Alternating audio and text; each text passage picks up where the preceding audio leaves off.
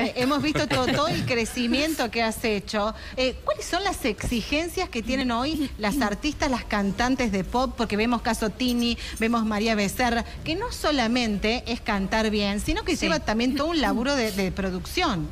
Mira, yo me acuerdo que mi papá un día me dijo, mm, eh, él no entendía mi carrera hasta que un día él se supo poner un boliche y se acostaba a las 7 de la mañana y me dice, hoy en día te, reconozco el sacrificio que haces porque yo siempre llegaba a las 8 de la mañana a mi casa y arrancaba de nuevo a las 10 de la mañana, no dormía nada.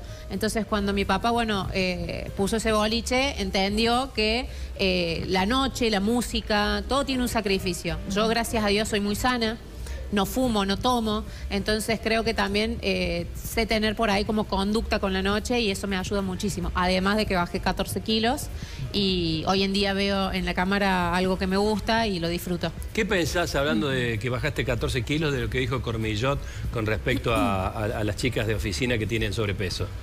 Ah, no, no, no lo escuché. No, no lo que dijo? es que si una chica tiene, por ejemplo, pesa 130 eh, kilos, los compañeros se le van a acercar, le van a dar una palmadita de compañera. Pero si baja 30, entonces ahí le van a dar una palmadita, pero con otras intenciones, como si la chica, si baja de peso, va a ser sexy, y si es gordita, no es sexy. Bueno, yo creo que eso también es un comentario machista, aparte de racista, porque, a ver, una persona es persona siendo gorda, siendo flaca, siendo negra.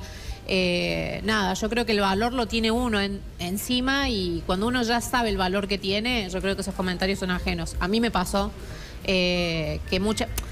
Entré a un certamen donde una persona me dijo, si sos gorda no te van a querer. Eso me quedó marcado de por vida.